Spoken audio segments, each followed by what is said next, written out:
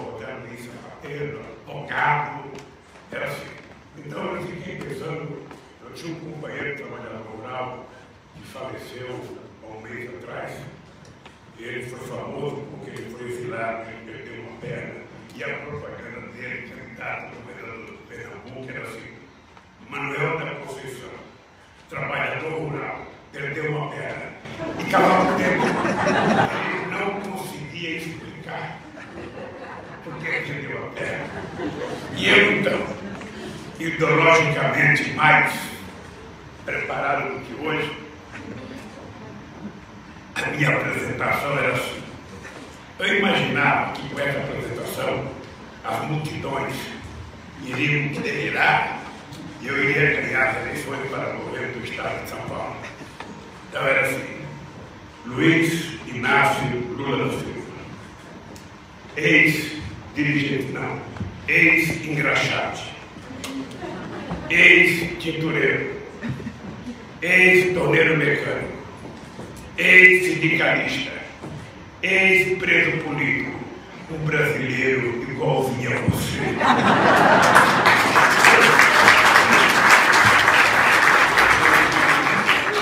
Naquele tempo a gente juntava multidões nas ruas, porque o PT era uma novidade.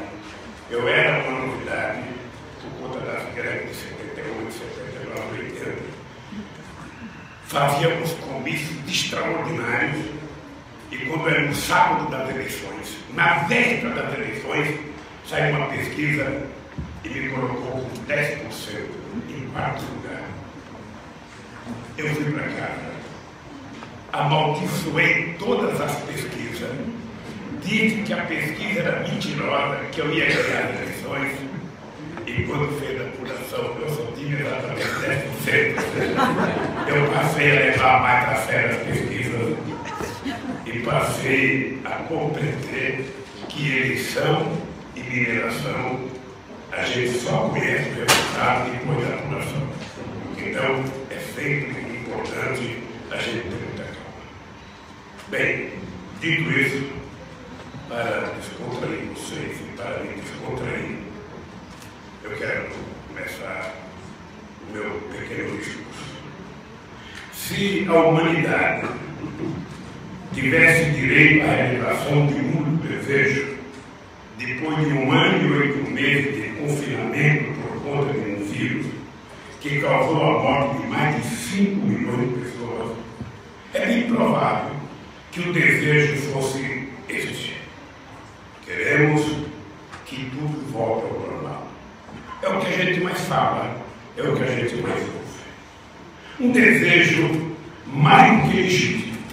Afinal, estamos cansados de viver por tanto tempo isolados uns dos outros, sendo obrigados, principalmente no início da pandemia, a manter distância até dos nossos entes mais queridos, com medo de que um simples abraço significasse a entrada desse vírus mortal no nosso organismo ou no organismo da pessoa amada.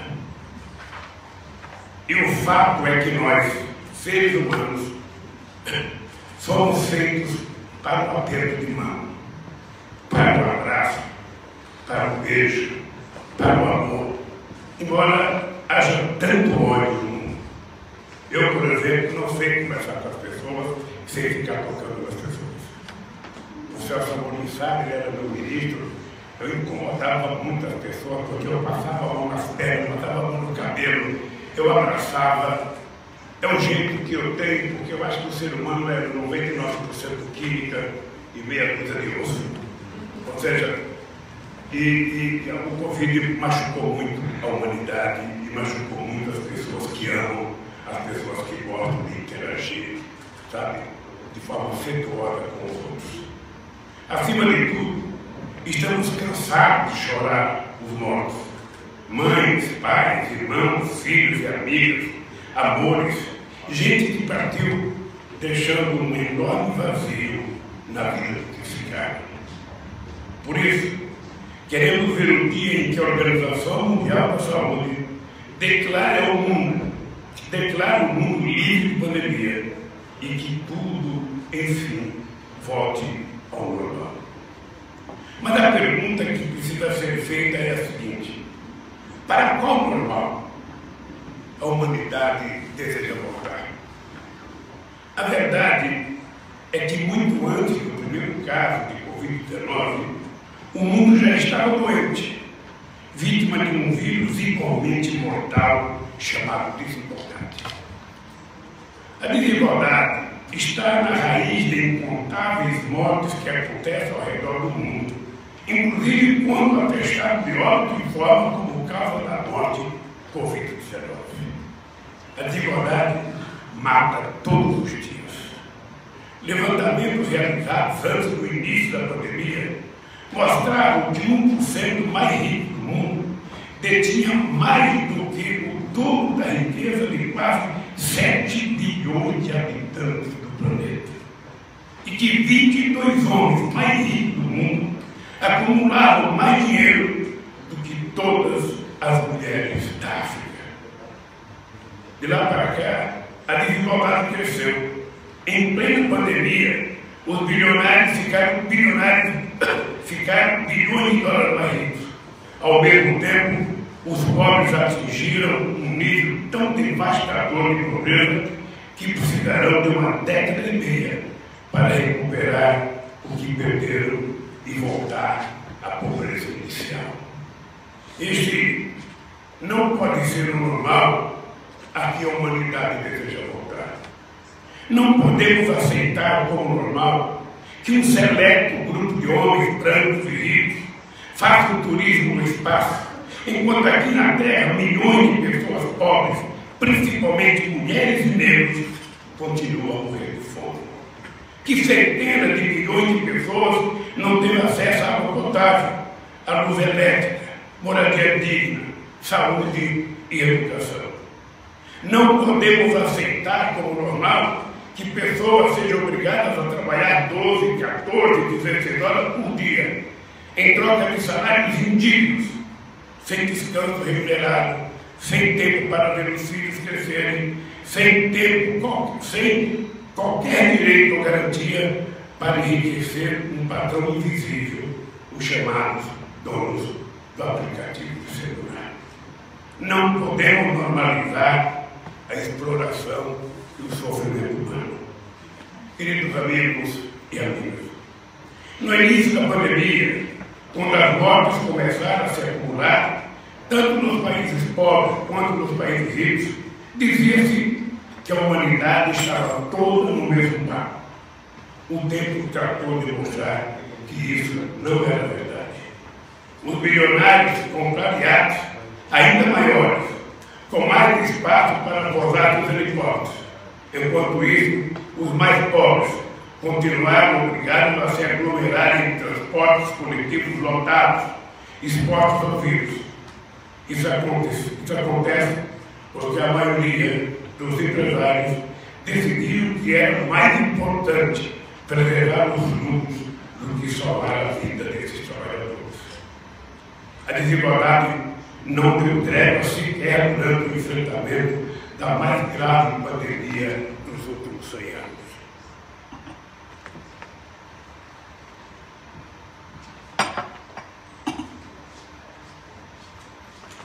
Em maio, a Organização Mundial da Saúde estabeleceu três metas para a vacinação no mundo. Primeira, 10% da população de cada país deveria estar vacinada até fim de setembro. Segundo, 40% deveria estar vacinado até dezembro. E 70% até maio de 2022. No entanto, quando setembro chegou, mais de 50 países não haviam atingido a meta inicial, que era bastante tímida. E apenas 2% da população das nações de baixa renda haviam recebido ao menos uma dose de vacina. Vivemos um verdadeiro apartheid de vacinas, como definiu o diretor da Organização Mundial da Saúde, Tedros Adhanom.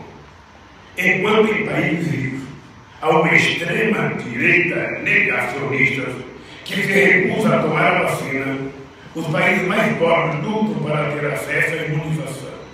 Na África, não tem 10% de sua população vacinada. Em países como Benin, República Democrática do Congo, Chad, Guiné-Bissau e Etiópia, a taxa de vacinação não chegava a 1%.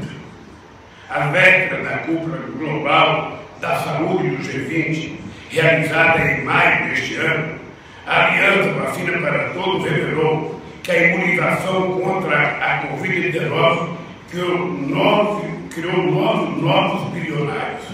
São os executivos e grandes acionistas de laboratórios farmacêuticos que enriqueceram graças aos excessivos lucros obtidos com o monopólio da vacina. A riqueza combinada desses novos bilionários somam 19,3 bilhões de dólares que poderiam ser investidos na imunização da população de países mais pobres. Importante lembrar que as vacinas que salvaram e continuam salvando milhões de vidas foram desenvolvidas com investimento de recursos públicos e que deveriam, portanto, ser consideradas um bem da humanidade. Mas a quebra das patentes para democratizar o acesso continua a ser um tabu, mesmo em tempos de emergência global. Portanto, reconstruir o mundo pós-Covid significa, portanto, dizer que a vida é o bem mais precioso que existe e que a propriedade intelectual que enriquece uma minoria não pode estar acima da sobrevivência de toda a humanidade. É preciso dizer ao mundo que não aceitamos mais essa normalidade perversa. O normal é que todos os seres humanos tenham direito a no mínimo três refeições que tem emprego de qualidade com salário digno e garantia de direitos trabalhistas, que tem acesso à saúde e à educação, que tem o direito a serem felizes. Queridos amigas e queridos amigos, além dos efeitos devastadores no organismo das pessoas infectadas, o novo coronavírus escancarou ao mundo outros graves efeitos colaterais. A recusa de alguns governos neoliberais em adotar o lockdown, colocando mais uma vez o lucro acima da vida, a negação da ciência e a propagação das fake news contra a vacina e o crescimento obsceno da desigualdade. A verdade é que a reconstrução do mundo passa necessariamente pela cura da Covid-19, mas precisa ir muito além. A humanidade precisa se curar também do da desigualdade. É necessário urgente uma reconstrução profunda do mundo. Somos alicerces da igualdade, da fraternidade, do humanismo, do valor democrático e da justiça social. porque mesmo que sobrevivam à Covid-19, 800 milhões de homens e mulheres e crianças não conseguirão escapar de outro terrível flagelo chamado fome. E a fome tem cura. Sou capaz de dizer isso porque tem, porque em apenas 13 anos de governo do Partido dos Trabalhadores no Brasil, fomos capazes de retirar o país do mapa da fome da ONU pela primeira vez na sua história. Não existe vacina contra a fome e não foi preciso inventar para livrar o Brasil desse flagelo. Bastou vontade política para implementar medidas tão simples quanto revolucionárias, a exemplo do Bolsa Família, considerado o maior programa de inclusão social do mundo. Bastou termos ousadia de incluir os pobres no orçamento. Bastou deixarmos de olhar os excluídos como gato e passarmos a tratá-los como investimento porque cada dólar na mão do pobre, além de alívio para sua pobreza, significa um dólar a mais, fazendo girar a roda da economia, o que certamente beneficia, beneficia a todos.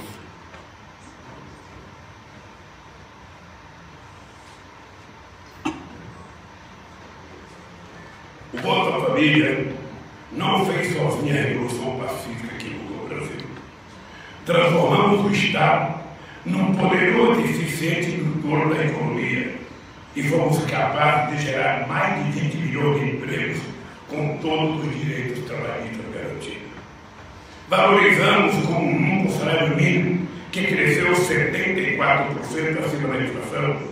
Deixamos de investir exclusivamente no agronegócio e investimos também fortemente na agricultura familiar responsável pela produção de até 70% dos alimentos que chegam à mesa de todos os brasileiros. Fizemos mais.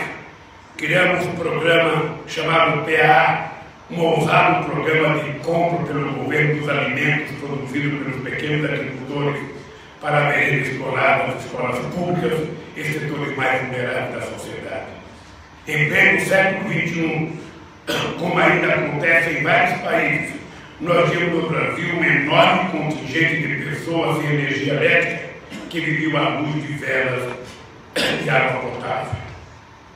Fomos capazes de resolver esses problemas com dois programas inovadores.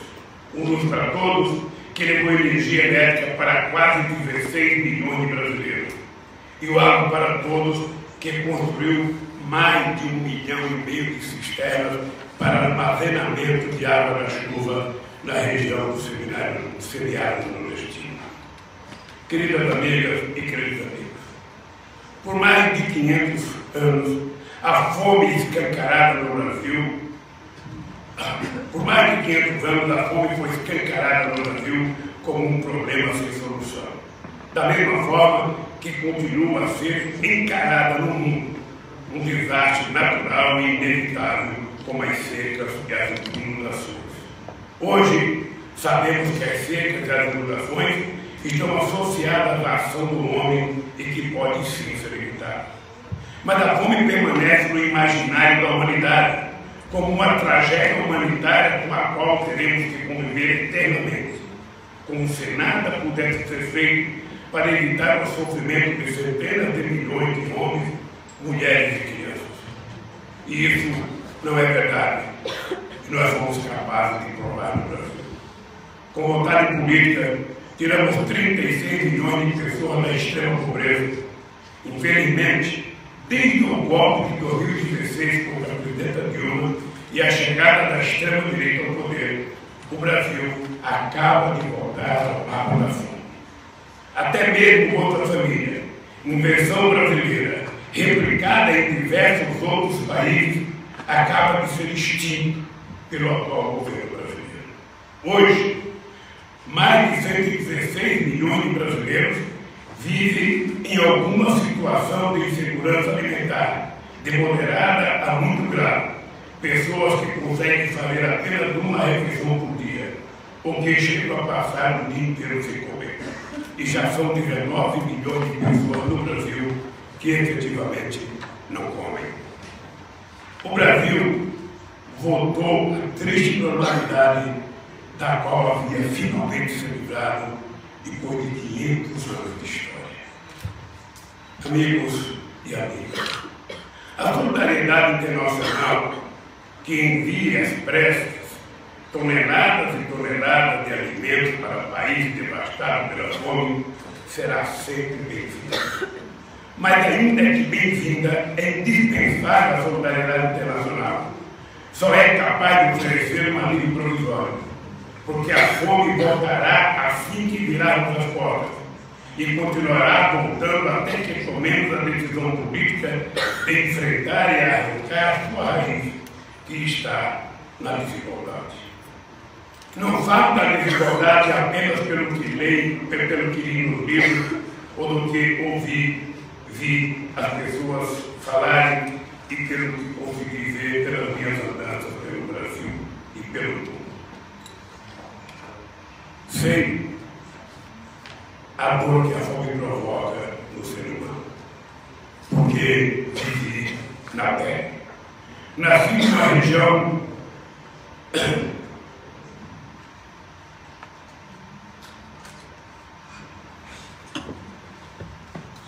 nasci numa das regiões mais pobres do Brasil.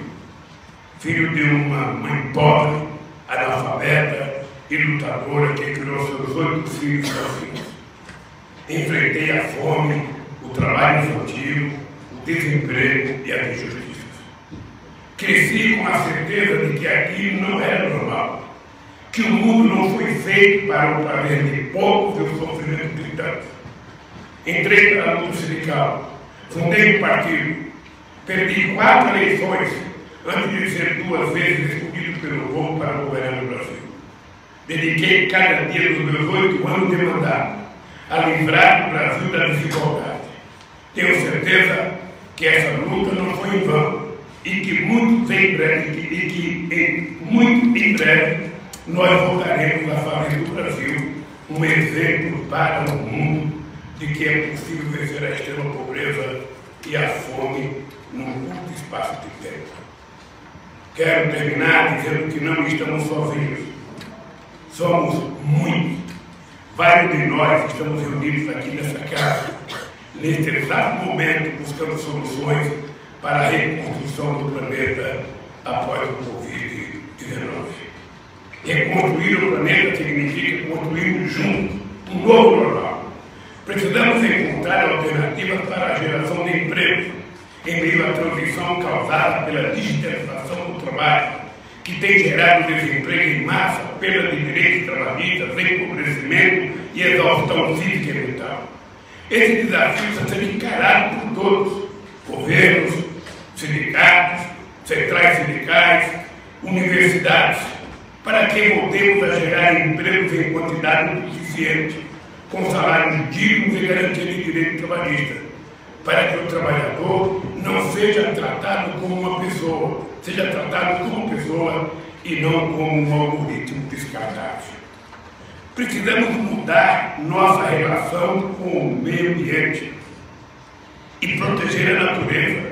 Cuidar do nosso planeta deve ser um compromisso de todos os governos, sobretudo dos países ricos, que se industrializaram há mais tempo mas muitos deles se recusam a cumprir as metas de redução de emissão de gases poluentes, tornando-se cúmplice de uma tragédia ambiental da qual talvez não haja retorno. Temos que impulsionar a transição energética ecológica e ecológica, desenvolver novas formas de produção e consumo ambientalmente sustentáveis. Os investimentos nessa direção podem ser oportunidades de novos empregos, novas tecnologias, com mais desenvolvimento científico e impulso à inovação. Os países ricos investiram quase 2 trilhões de dólares para salvar o sistema financeiro durante a crise de 2008. Os Estados Unidos gastaram 8 trilhões de dólares nas suas guerras no Oriente Médio.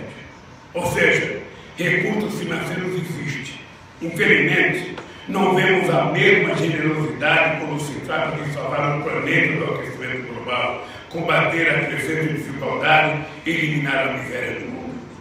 Esses grandes desafios não serão solucionados pelo sistema criado após a Segunda Guerra Mundial, como ocorreu depois de outras grandes crises, é necessário reconstruir as instituições internacionais sobre nova base. É urgente convocar uma conferência mundial com a representação de todos os estados e participação da sociedade civil para definir uma nova governança global justa e representativa. Meus amigos e minhas amigas, somos partes de gerações e gerações de jovens que alimentaram o sonho de mudar o mundo. Mas mudar o mundo não pode ser apenas um sonho de juventude que vemos, que vamos esquecendo com o passar do tempo e a chegada da maturidade. Mudar o mundo deve ser sempre a nossa profissão de fé, a própria razão para existirmos e nos lançarmos a uma luta árdua e permanente, da qual não poderemos sair. Companheiros e companheiras, quando eu falo da desigualdade, eu falo do ser humano. Eu falo do nômade ser humano. A humanidade não nasceu para ficar estancada num lugar. Nós éramos assim no começo da nossa existência. A gente levantava andando, só parava para dormir e saía para procurar comida. Ou a gente encontrava comida, ou a gente era comido por alguém maior do que a gente. O que, que acontece hoje com a imigração? O que, que acontece hoje com tanta gente perambulando pelo mundo?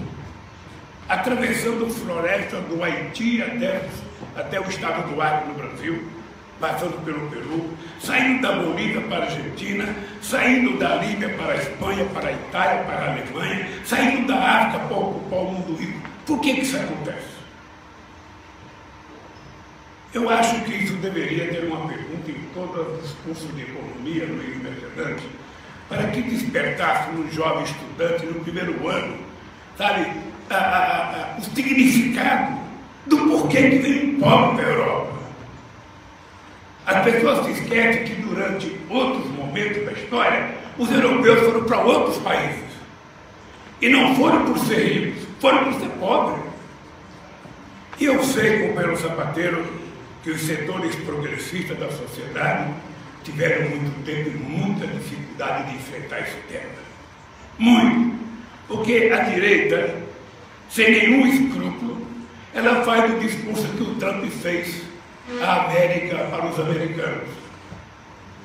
Os invasores, os estrangeiros, os latino-americanos, o muçulmano que volte para a sua terra, porque eles estão atrapalhando aqui.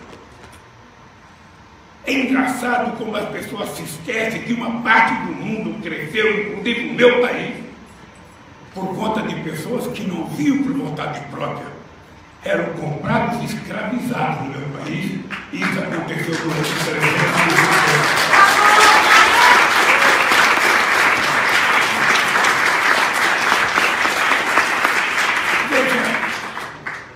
Uma coisa que nós, os setores progressistas da sociedade, vamos ter que pensar debater.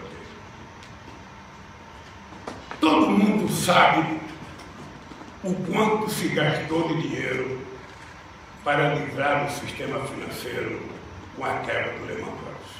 Todo mundo sabe. Todo mundo sabe os trilhões de dólares que foram investidos pelos Estados Unidos para fazer uma guerra no Iraque com uma história mentirosa. O governo americano sabia, o governo inglês sabia, o povo americano sabia que não tinha armas químicas no Iraque. Quem provou isso era um embaixador brasileiro chamado José Bustami, que era o secretário nacional da entidade que cuidava de armas químicas. E pelo fato de ele dizer que não tinha, ele foi sacado pelo Fernando Henrique Cardoso a pedido do governo americano. Mesmo assim, mesmo assim, dia 10 de dezembro de 2002, eu já tinha sido eleito presidente da República Fui visitar o Bush quando ele fez uma preleção de uns 40 minutos para mim, mostrando a importância de derrotar o terrorismo. e fazendo um apelo para que o Brasil participasse dessa luta extraordinária para derrubar, acabar com o terrorismo e invadir o Iraque. Eu simplesmente disse ao presidente Bush, presidente, eu não conheço Saddam Hussein. O Iraque fica a quase 14 mil quilômetros de distância do meu país. Eu não tenho nada contra Saddam Hussein. Por isso, eu não vou participar dessa guerra. Eu tenho uma outra guerra para fazer. No meu Brasil, nós temos 11 milhões de famílias passando fome, que representa quase 54 milhões de pessoas. E essa guerra eu vou fazer, presidente, eu vou ganhar essa guerra. E foi assim que nós procedemos.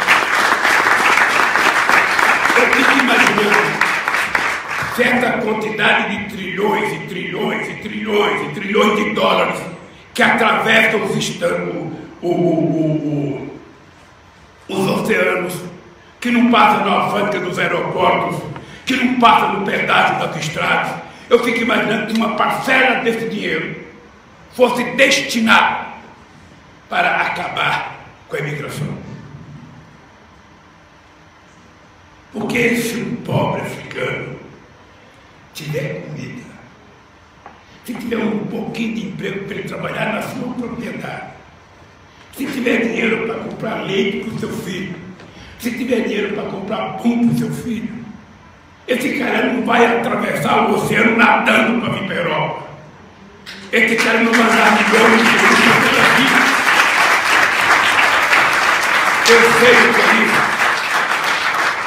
Eu sei o que é isso porque eu tinha sete anos de idade.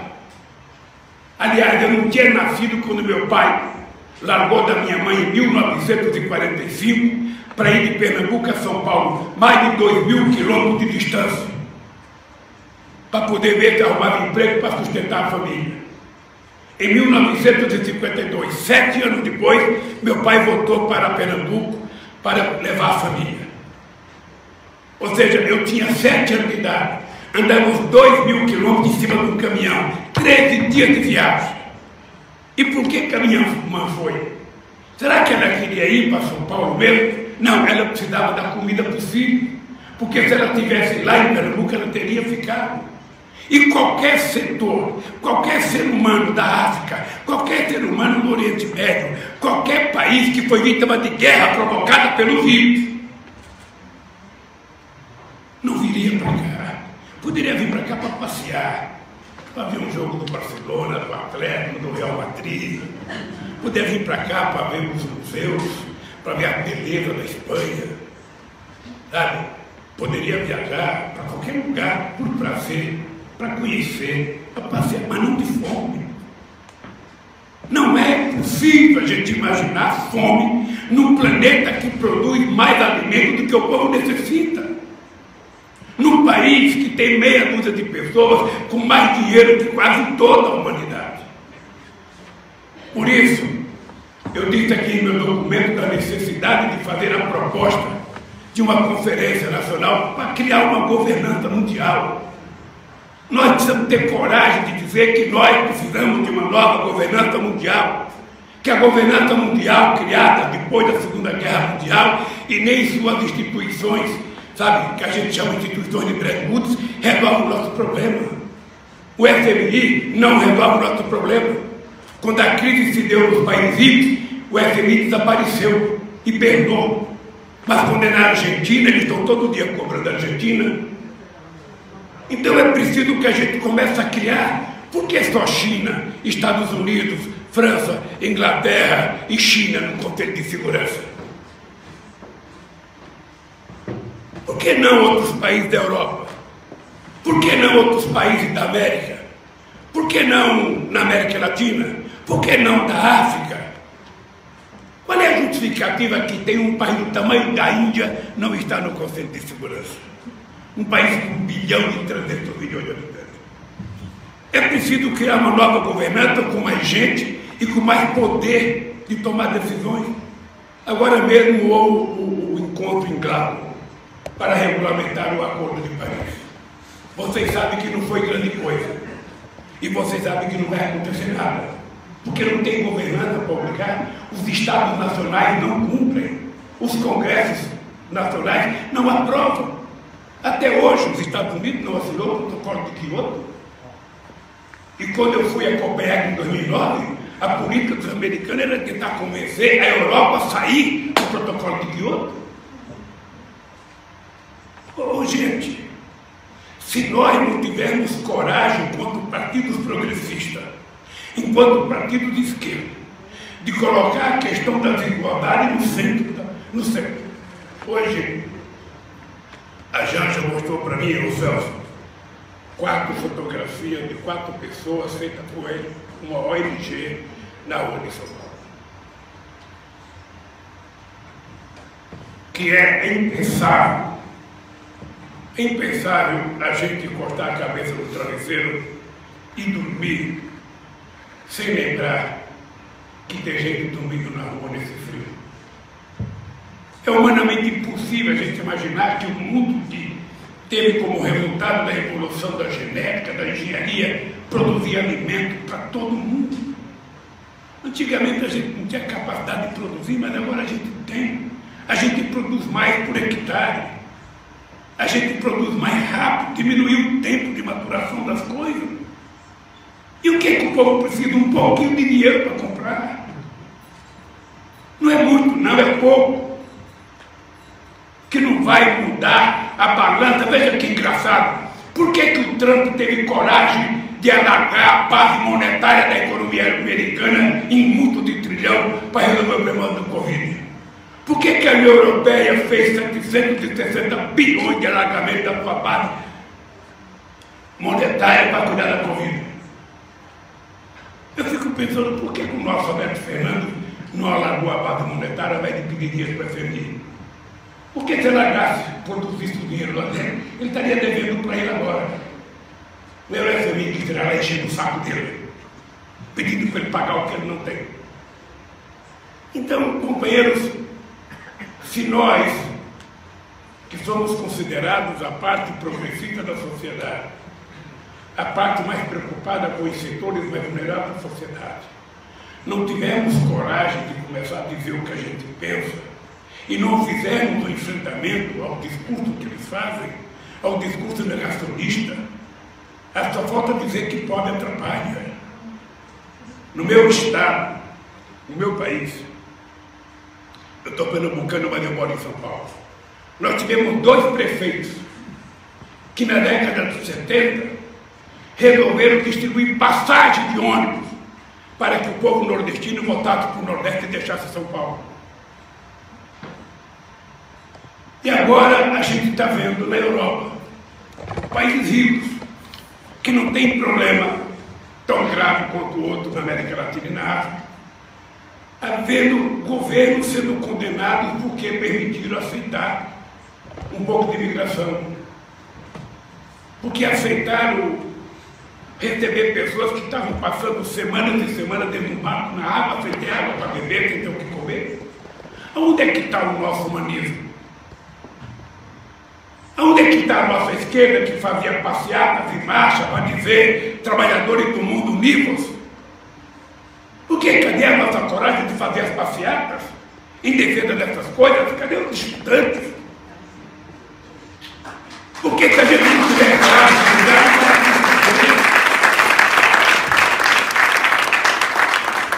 Veja, eu vou terminar dizendo para vocês o seguinte. Eu, ano passado, fiz um discurso para o meu partido. Você sabe que a vida é sempre assim, a gente nasce, pensa uma coisa, briga por ela, mas depois a gente conversa com muita gente, muita gente questiona a gente, a esquerda é muito questionada, a esquerda, a esquerda é muito questionada, por que, que apoia a Venezuela? Por que, que apoia Cuba? Por que, que sabe, não, não, não impediram o Ortega de ser candidato? Por que, que não apoia você das quantas? Admiração, por que, que não apoia a globalização?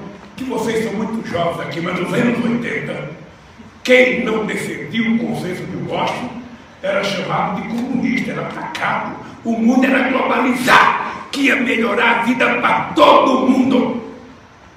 Tinha que escancarar a porta do seu país para o mundo entrar deixa entrar as empresas multinacionais, quebra as empresas nacionais, estatize. Era esse o discurso. E continua sendo. E muitos de nós aceitou esse discurso. Eu conheço muitos líderes importantes da esquerda que foi ficando amaciado, que foi concordando. Olha, vamos, vamos privatizar algumas empresas, vamos fazer concessão aqui, vamos, vamos cedendo, vamos cedendo, vamos cedendo, até que o Estado ficou impotente para ser indutor de políticas públicas, até que o Estado ficou impotente para ser indutor do desenvolvimento. Então eu disse o PT uma coisa seguinte, o PT tem um manifesto do seu nascimento. O PT tem todos os documentos dos seus congressos. Eu apenas ponderei ao meu partido que todo mundo lê os documentos do PT para a gente ter noção do que, que nós criamos no PT. Por que, que nós criamos um partido de esquerda e nós nem aceitamos nos definir como socialista? Porque a gente dizia que o socialismo que nós queremos será obra e definição dos trabalhadores. Não é da vanguarda do partido. Então, uma das coisas que me chama a atenção no século XXI, e eu falo isso preocupado porque eu já vivi 76 anos no século XXI, não parece que eu tenho 76, parece que eu tenho uns 30. Mas, a verdade, a verdade é que eu estou me descobrindo a cada dia que ainda posso lutar, que ainda tenho força para resistir, que ainda nós temos que ter coragem de dizer as coisas para a sociedade. Qual é o sonho que um jovem pode ter hoje? Quem aqui tem filho? Essa meninada já estudou quatro vezes mais do que o pai, mais do que a mãe. E a perspectiva de trabalhar dele é zero. Aí essa molecada fica dentro de casa, jogando game. E às vezes a família até apoia, porque é melhor ficar em casa do que sair para a rua e ser vítima de violência.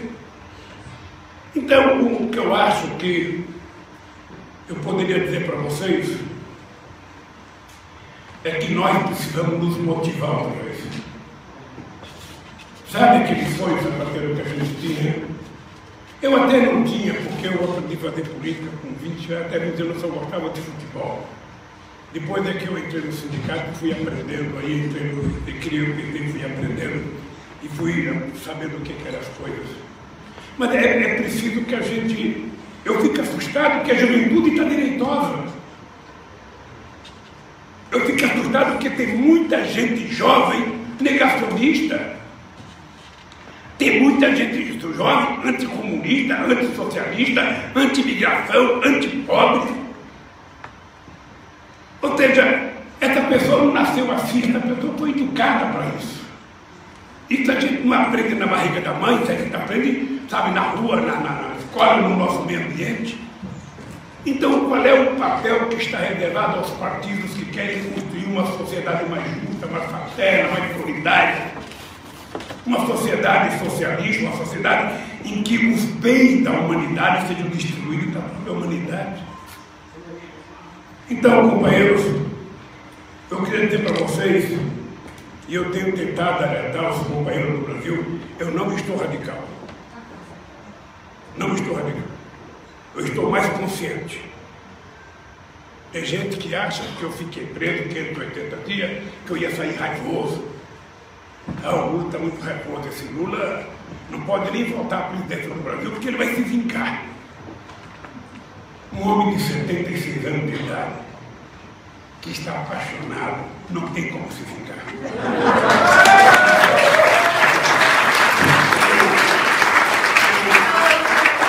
Eu não quero vingança, eu quero entender o tempo que eu tenho pela frente e quero compartilhar essa possibilidade de viver com o povo brasileiro e com o povo que a gente puder ajudar. Eu tive a graça de Deus de fazer parte do melhor momento da nossa querida América Latina. Falem mal, critiquem, mas o melhor momento histórico da América Latina, foi de 2000 e 2000 a 2014, 2012, quando a gente tinha Michelle Bachelet, quando tinha Lagos, quando tinha Kiss, quando tinha Cristina, quando tinha Cura, quando tinha Dilma, quando tinha Evo Morales, quando tinha o Rafael Correia, quando tinha mesmo no Peru Toledo, Alan Garcia, no Uruguai, o companheiro, o companheiro no Uruguai, o companheiro Tabaré, o companheiro Mujica. Ou seja, a gente conseguiu criar o Unasul, a gente conseguiu fortalecer o Mercosul, a gente conseguiu criar a FEDAC. Nós criamos uma, uma, uma multilateral que participava Cuba e não participava nem Canadá nem Estados Unidos. Nós criamos o IVA, que era Brasil, África do Sul e, Nós criamos os BRICS, ou seja, a gente estava mostrando que era possível realizar com Índia,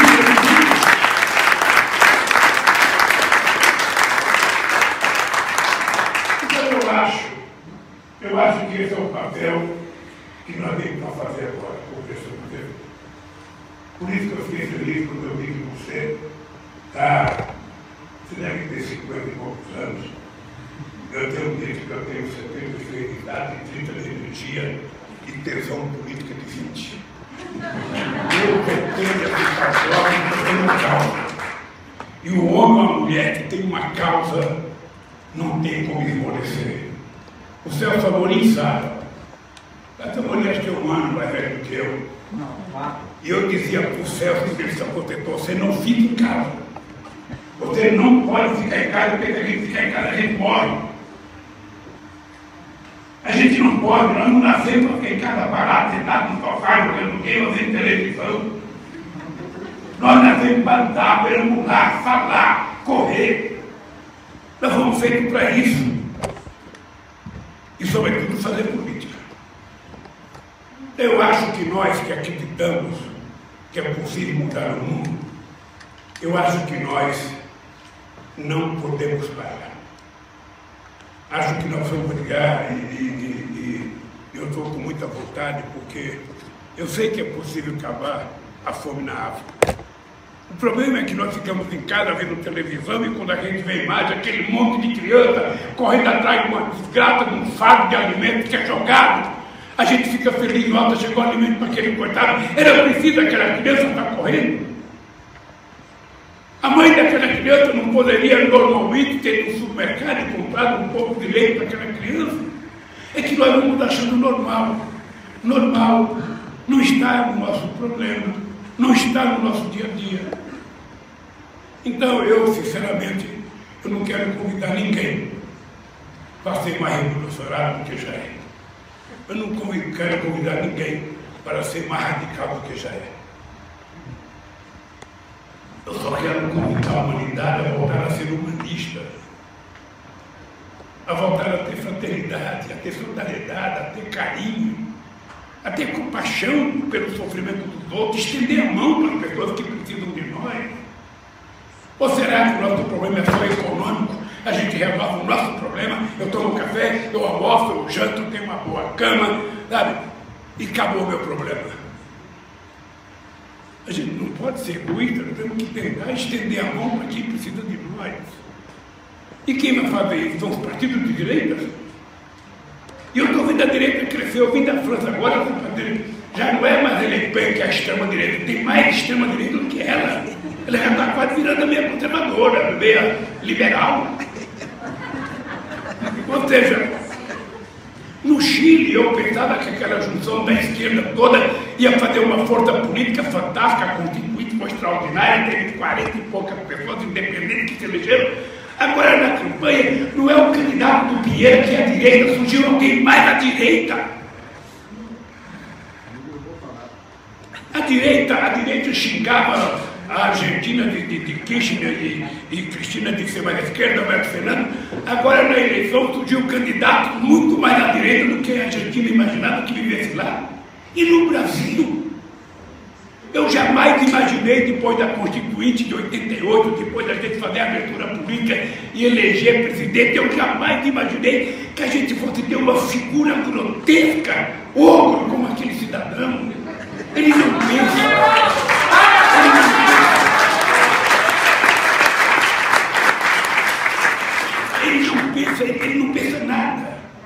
Ele não articula nada a não ser vontade. isso que ele levanta de manhã para contar cinco ou seis mentiras por dia. Ele nunca visitou uma pessoa que estava com Covid, nunca visitou uma família, nunca visitou. Ele gosta mesmo de andar de motocicleta. E o povo brasileiro vai dar a motocicleta para ele, para ele sumir.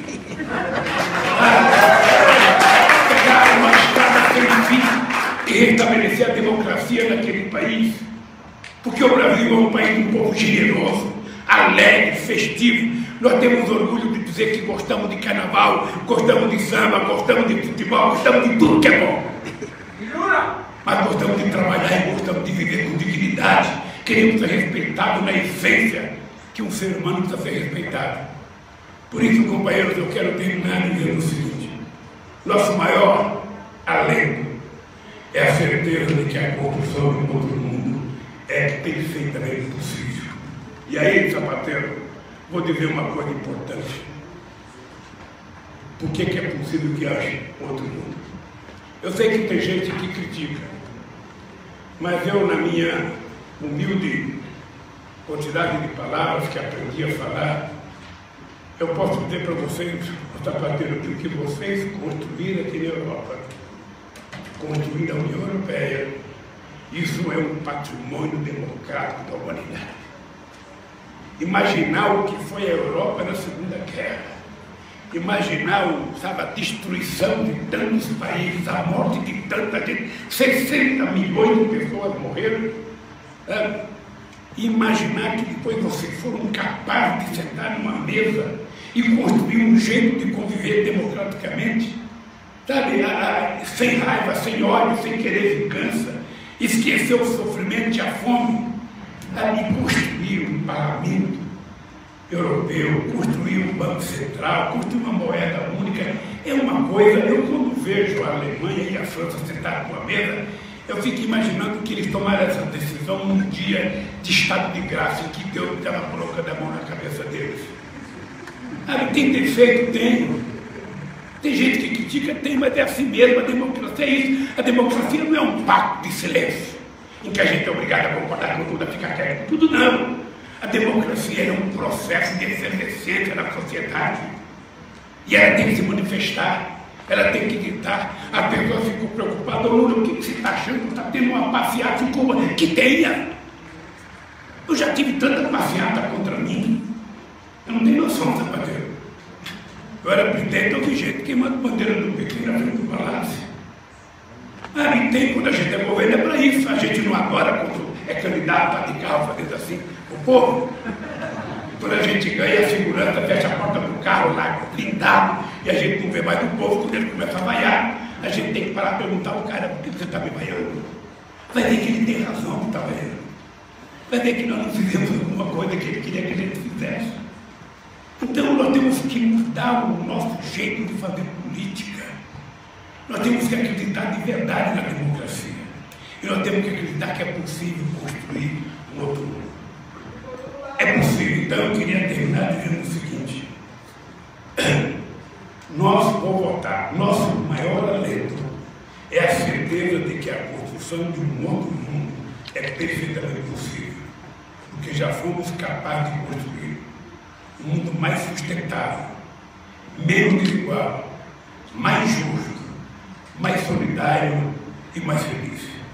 E esse novo normal, é esse novo normal que nós desejamos e eu tenho certeza que nós vamos construir.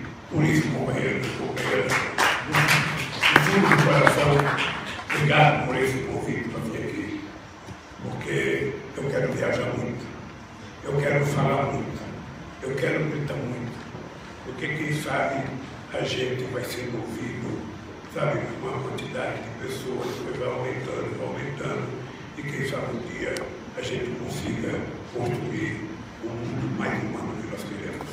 E o mundo mais humano é o mundo sem fome. É um mundo sem fome. É um mundo das pessoas vivem dignamente. E eu acho que todos nós poderemos contribuir para isso. Eu, quando tive com o Papa Francisco, eu fui dizer para ele que eu ia fazer uma, percorrido pelo mundo para discutir a questão da desigualdade. Mas aí veio o. Eu fiquei dedicada, sabe, quase dois anos. E estou com muita vontade de andar.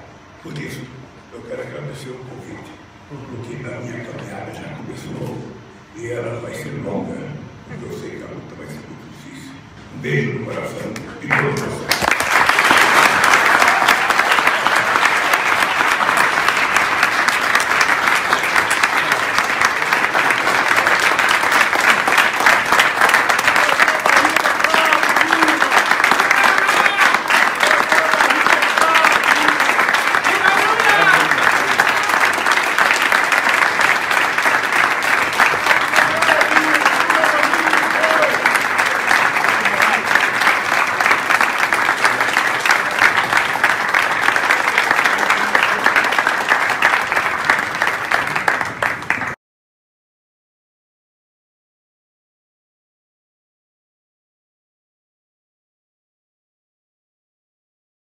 más sin ningún problema, con, con, con, alegría, con interés y con felicidad. Para mí es especialmente significativo que este acto es Lula libre, Lula libre, Lula libre en España, con los amigos, que somos muchos, que te queremos, que hemos creído en ti siempre, que hemos estado de tu lado y que estaremos de tu lado para que se produzca eso que necesita Iberoamérica y el mundo, que es Lula, presidente de Brasil nuevamente.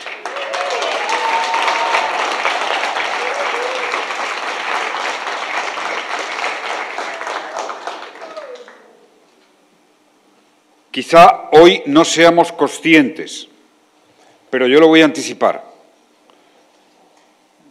Al final, la tarea más atractiva que hay en la vida es intentar anticipar qué puede venir por delante, acercarnos al futuro, aprenderlo, modificarlo.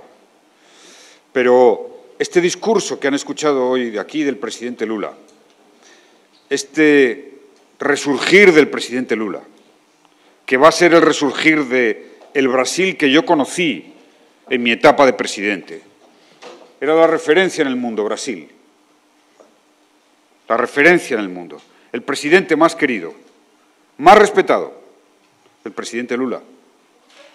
Eso fue mi etapa, en la primera década del año 2000. Eso es lo que yo viví, porque ha sido el líder político que más ha luchado en favor de los pobres, en los últimos 50 años en el mundo. El que más veces se acuerda de los pobres, de la pobreza, de la miseria, de la desigualdad, de la injusticia. Pero no se acuerda como algunos líderes políticos como una mera estadística, como unos números, como un porcentaje. No, él lo lleva interiorizado, lo siente. Siente que no puede haber un destino en la tarea política digno que no sea luchar por los más humildes, por aquellos que no tienen casi nada. Ese es el presidente Lula. Y les decía que aquí hemos escuchado palabras anticipatorias, porque van a cambiar muchas cosas cuando el presidente Lula vuelva a la, a la dirección de ese país que es Brasil.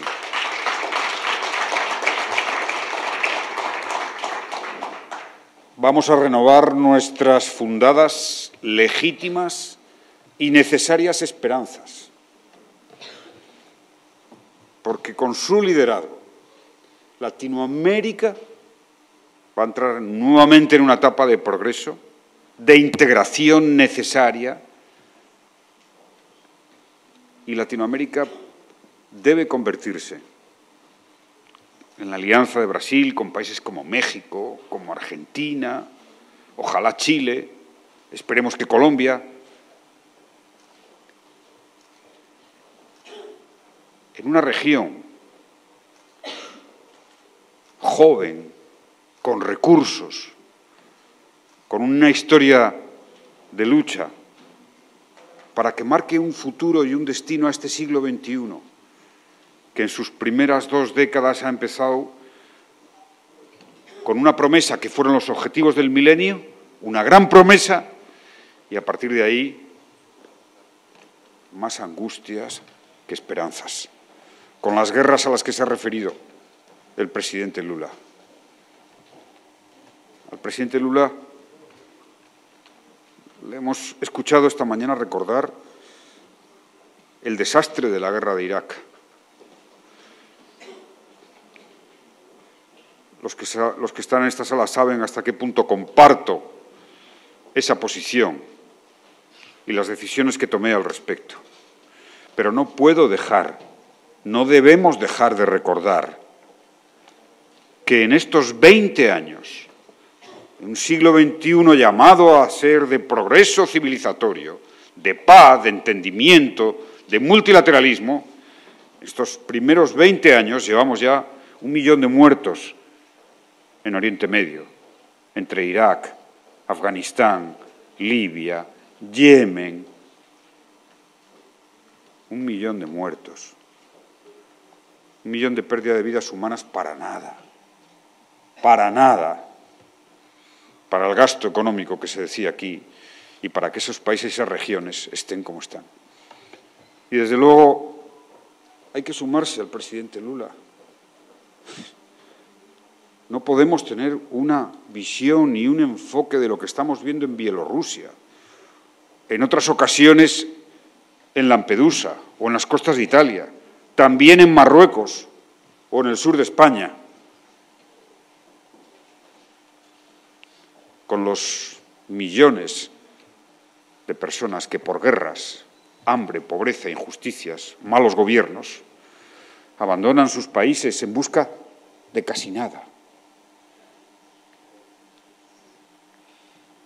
Nosotros reaccionamos poniendo el foco en el malo que mueve en uno u otro sitio a esas personas. ¿Cómo que las mueven?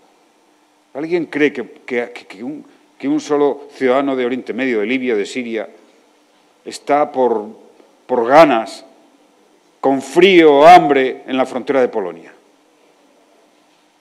Que se deja utilizar miramos donde no debemos mirar y no miramos donde está el problema. En un África y en un Oriente Medio destrozados, en muchos de sus países, sin esperanza. Y, presidente Lula, tenemos y vas a tener una gran responsabilidad histórica en tu nueva etapa como presidente, porque nadie es capaz de interpretar el mundo de la desigualdad como tú. Nadie es capaz de saber convocar a un multilateralismo que se te escuche en un lado y en otro. Sacó 30 millones de la pobreza. Es el líder político contemporáneo que más gente ha sacado de la pobreza en el mundo. Pero a la vez hizo que la economía funcionara en Brasil como nunca de bien. Respetó a las empresas. Respetó a las empresas. Las españolas trabajaron muy bien en Brasil y le, respetan. Y a la vez que hizo que la economía funcionara, sacó a 30 millones de la pobreza, elevó el salario mínimo el 50%. Y por eso le han perseguido.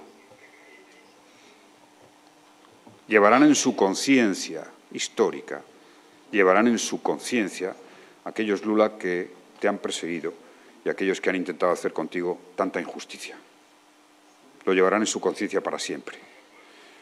Pero el futuro lo marcan los pueblos y la dignidad. Tu dignidad. Le vi pocos días después de que salió de la cárcel. Nos dimos un abrazo.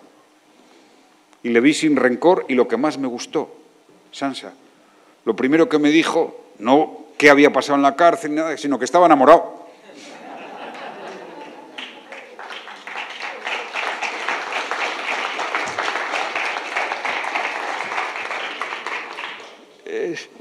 Lula es un hombre sin rencor y con amor.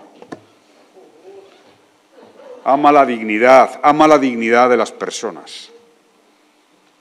Ama la igualdad, ama el destino justo de los niños y de las niñas que hoy en tantos lugares del mundo no tienen derecho a la educación ni a la salud. Eso es lo que ama Lula. Y por eso, el día que, que, supimos que Lula podía nuevamente estar al frente de un país como Brasil, gran país, gran continente Latinoamérica, nos volvió la esperanza. Con México, con Argentina. Multilateralismo y paz. Hay que caminar hacia una gobernanza mundial. No tenemos gobierno mundial, no tenemos Estado global. Y sin embargo hay una sociedad global. Hay una sociedad mundial, todo es global. Yo espero, Lula, que esta vez hagas entender a Estados Unidos que escuche a Latinoamérica, que la escuche, solo que la escuche.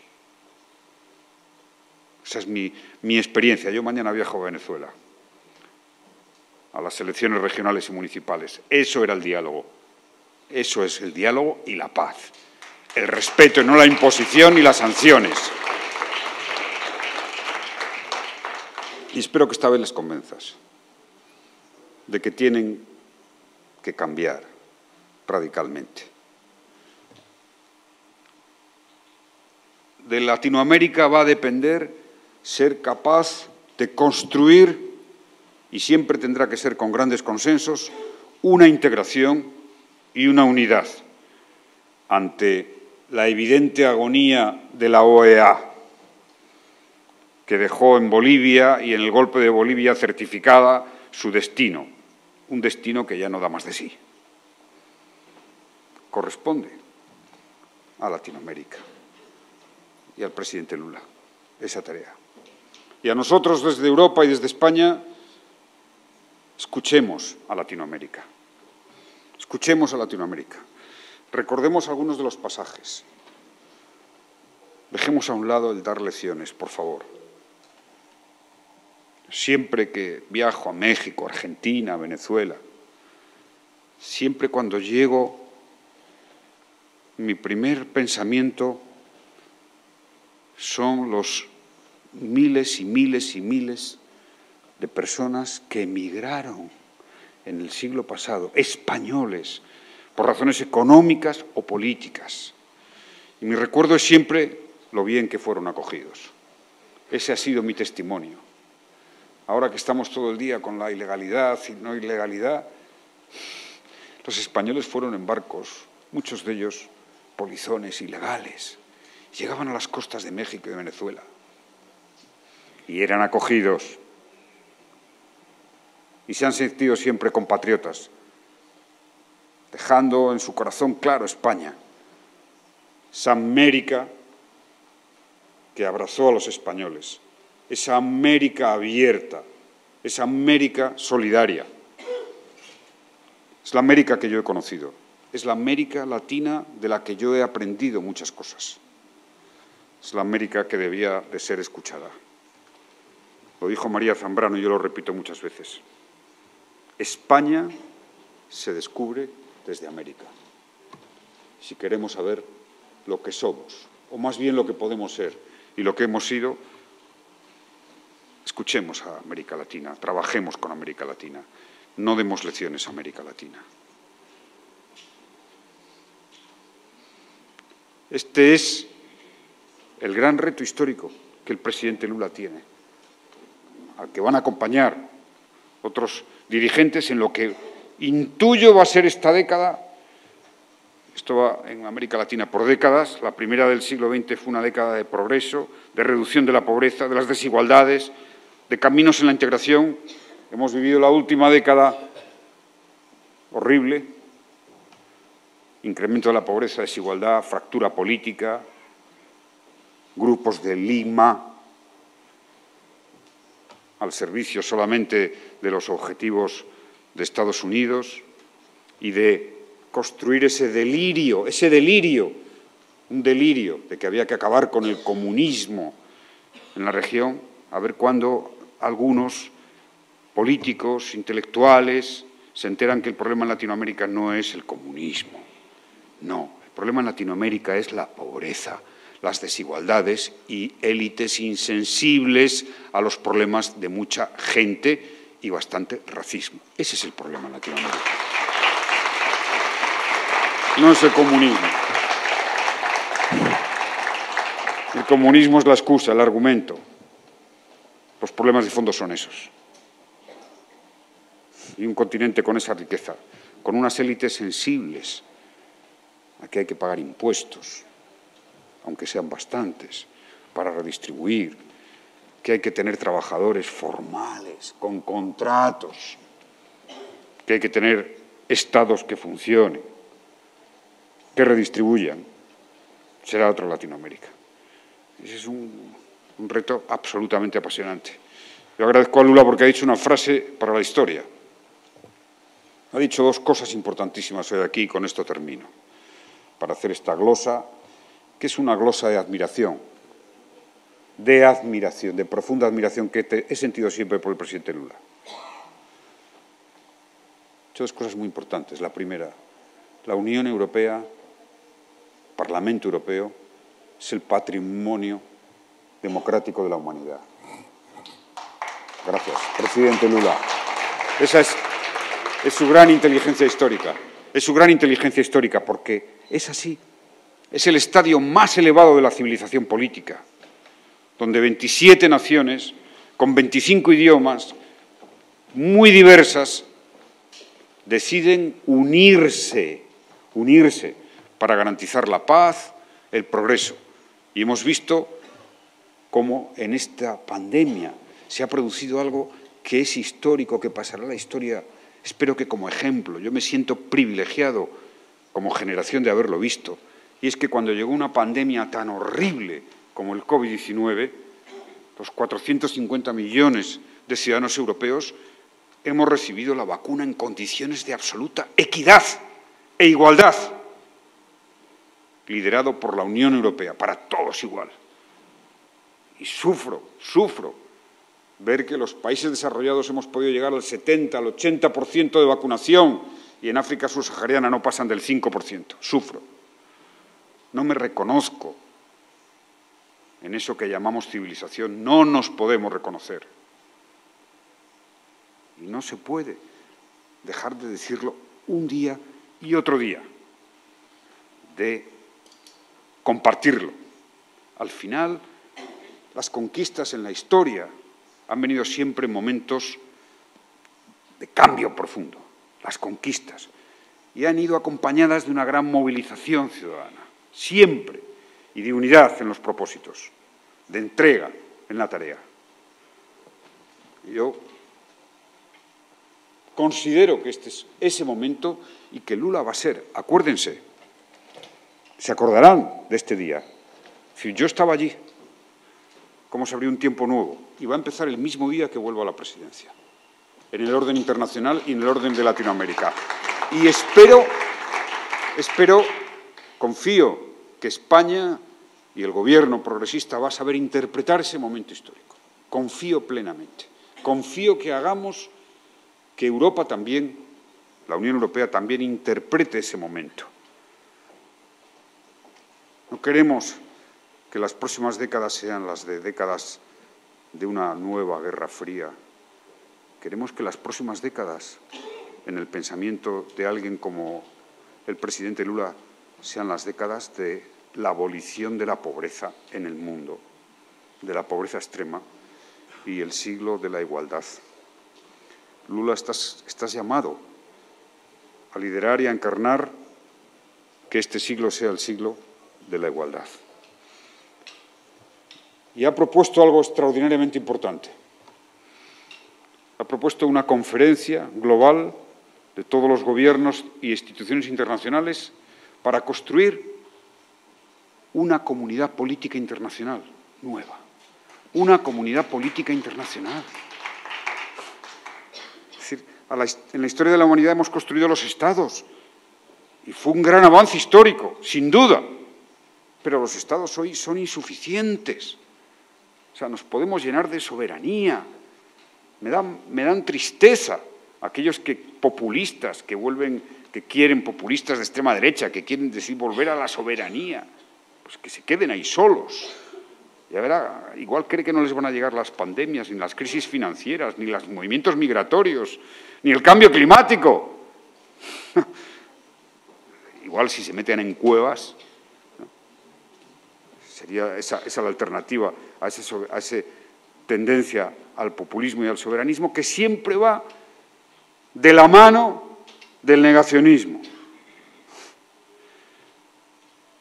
Resulta insólito que 20 años ya en el siglo XXI metidos tengamos que reafirmar la adhesión a la razón, a la cultura, a la ciencia, al entendimiento, al diálogo que ha enhebrado el progreso en la historia de la humanidad.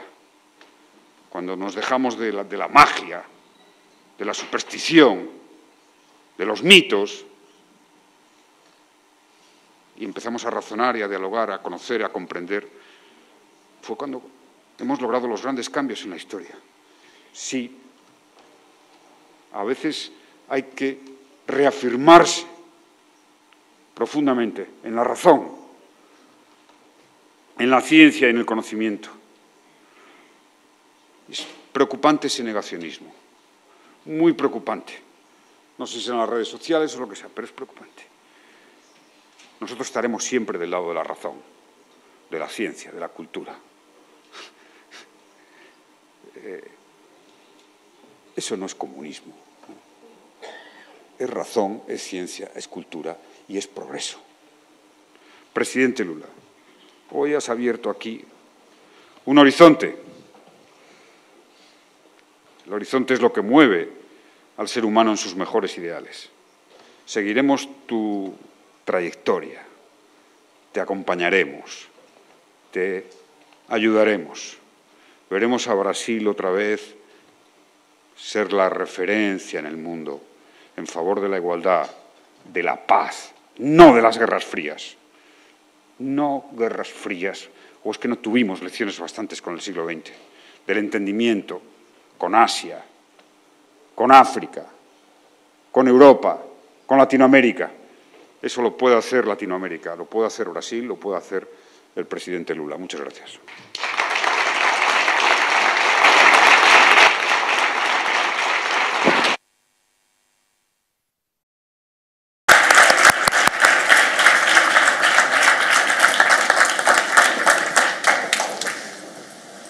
Presidente Zapatero, presidente Lula, antes de pasarme a nuestro siguiente acto, quiero registrar un agradecimiento especial a nuestro amigo Celso Amorín, una persona fundamental en todo esto que estamos organizando hace años desde el Common Action Forum y de lo que es una propuesta también de agenda global progresista. Amigo Amorín, es fundamental tu, tu participación en todo esto.